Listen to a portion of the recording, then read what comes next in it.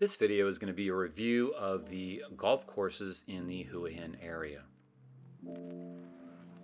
The golf courses are diverse with designs that are good for the everyday hacker all the way up to the top touring professionals in the world.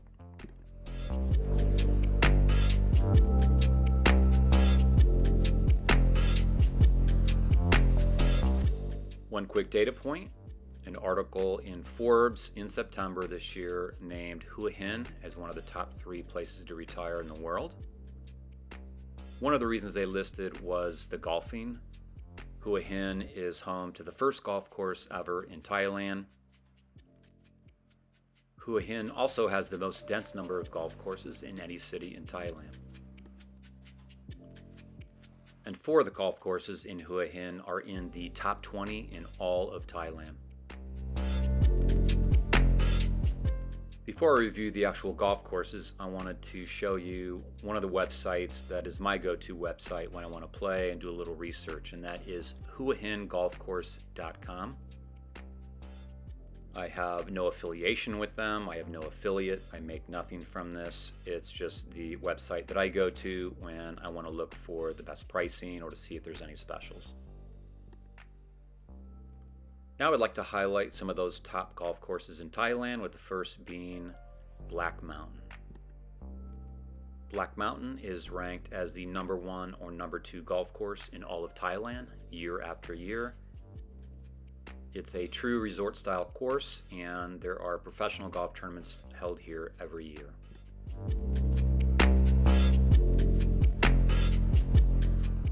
The next highly ranked golf course is Banyan, and Banyan ranks number two or number three in all of Thailand consistently year after year. Another excellent professional style golf course. Third on the list is Springfield Royal Country Club, designed by Jack Nicklaus, 27 holes, and it is ranked currently at 16th in all of Thailand. And the last top 20 ranked golf course is Imperial with 36 holes. I've played this many times. It's an excellent challenge, and I really like playing here.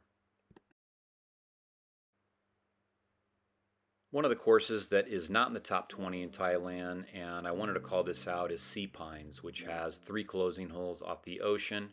Excellent golf course, and the reason I wanted to highlight this one is because it is the flattest golf course in the Hua Hin area. So if you're elderly and you don't want to walk up and down hills, then Sea Pines is a great, spectacular golf course. I love playing there. Now, if you look at the backside of that golf course there with the line of trees, you see some condo buildings in the distance. I have two rentals there, and I've done videos on those two rentals. So if you're looking for a one bedroom in the Kheep area, and you want to play golf at the Sea Pines, it's right across the street. That is a great place to stay, so you can check out those videos another time.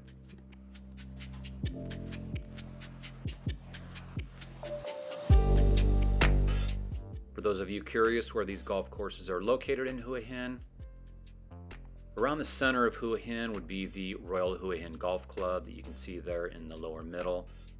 It is uh, right next to the old train station about one kilometer from the center of Hua Hin, and from there you can judge where the rest of them are.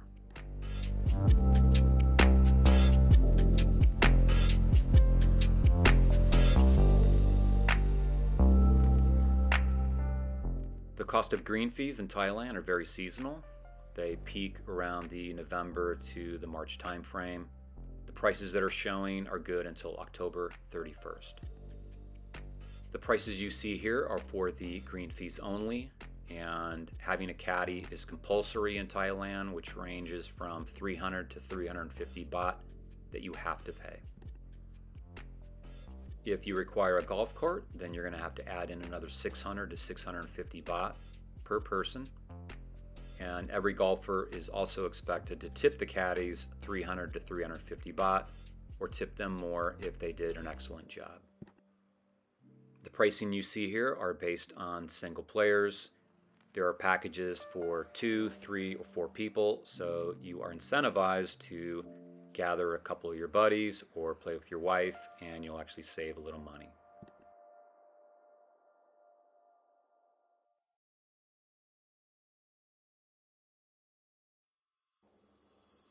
What these travel sites don't show you is that there are special deals. For example, some courses have a twilight fee after 2 p.m., or they have certain days where you get a cheaper rate, and rates also fluctuate if you are there just visiting or if you're a Thai resident or local, part of the military. And so every time you want to play, you do want to check the website of the golf course to see if they have any specials on the day that you want to play.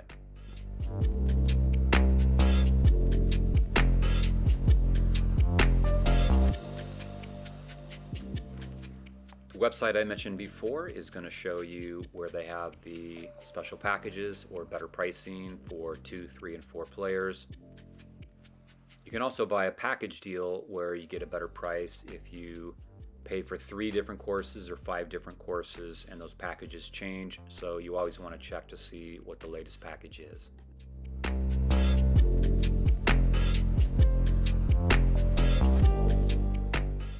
Final item to review is that the Palm Hills Golf Course, which I believe is the best one that has a country club feel to it, the way that it's designed with the palm trees, the landscape, mountain views, it's beautiful and they do offer memberships. And as you can see here, you can join for one year, it's 30,000 baht, and then you have your choice on the upper right is you can, number one, pay annual fees for 20,000 baht where you can play unlimited, or number two, where you can pay every time that you play, but it is a discounted rate. Just keep in mind that whether you choose option one or number two, that is only inclusive of the green fee you still have to pay for a caddy, you still have to tip the caddy, and you would still have to pay for a golf cart if required.